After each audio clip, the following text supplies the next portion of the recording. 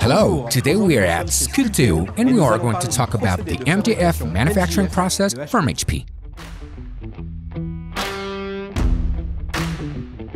MJF technology, standing for multi-jet fusion, is an additive manufacturing process developed by HP. This process is at the crossroads of three other processes powder sintering, material jet, and binder jet. It enables us to manufacture parts in several types of plastic, sometimes in color and very quickly.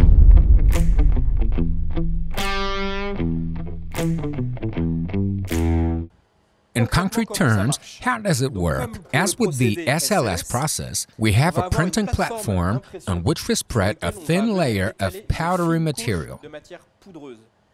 We spray two agents, a binding agent and a detailing agent, on this layer of material. In concrete terms, black ink and white ink are contained here and will be sprayed on this layer. Thus, once the material layer is sprayed, fusion lamps are used to heat the powder, which enables two things.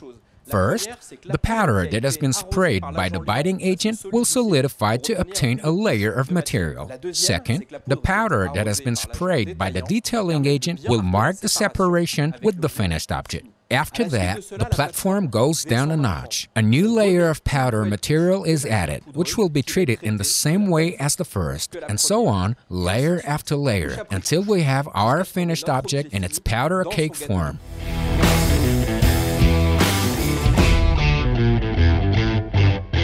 In terms of benefits, MJF technology enables rapid mass production of high quality plastic parts in color if required.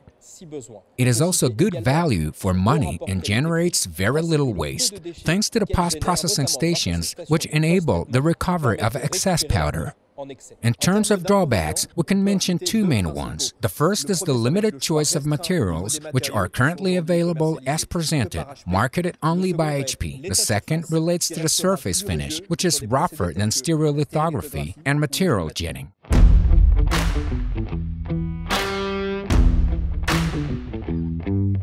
In terms of usage, MJF technology enables the production of parts that are perfectly suited for direct use in an end use application, whether it is for small or medium series, rapid prototyping, or as an intermediate process for injection molding.